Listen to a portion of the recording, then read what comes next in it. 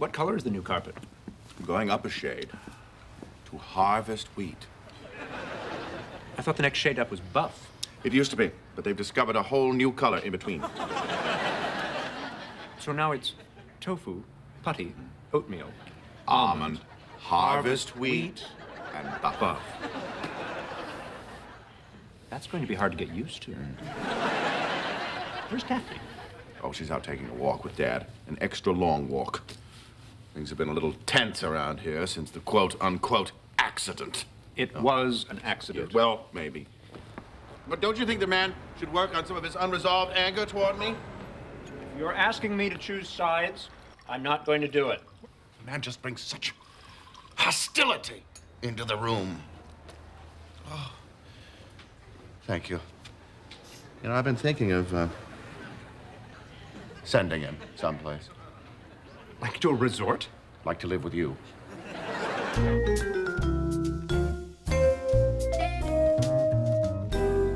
Making Dad move in with me does not solve your problem. It simply avoids it. Oh, don't you start preaching to me about avoidance. You've been avoiding living with him for eight years. I refuse to discuss And I refuse your refusal. I... Something burning. Smells like it. Are you cooking? And what is that supposed to mean? Oh, dear God. The chair! Oh, my God! Oh, here, no, no, hand me this, this drop off. Here, I'll, oh, I'll smother it. Yeah, yeah, yeah. Careful, be careful. Quickly, quickly, quickly. Just, just, just. Oh, look out, God! Look out! Oh, my God! Dr. Crane's moods never last very long. I'm sure we've seen the worst of it.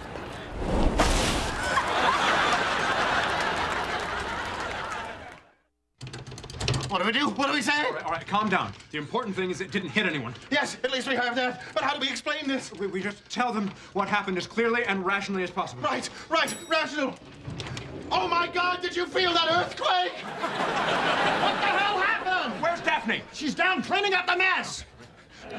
Dad, I can explain. You threw my chair off the balcony? I'm so sorry. Just hear me out. Are you crazy? I didn't mean to. Forget what it means to me. You could have killed someone. It was an accident. You said there are no accidents. Clearly, I was wrong. I mean, why on earth would I do such a thing? Because you've always been gunning for that chair. I accidentally stain your carpet, and you set fire to the one thing in this apartment I care about and heave it out into the street. Dad, I am so sorry. I didn't mean to. Please forgive me. I'll buy you another chair. Ah, don't do me any favors. No, please, Dad. Look, I know you're angry right now, and that's normal. I'll tell you what, the healthiest thing you can do right Want to now. know the healthiest thing you can do? Shut my yap. Bingo! Frasier has left the building.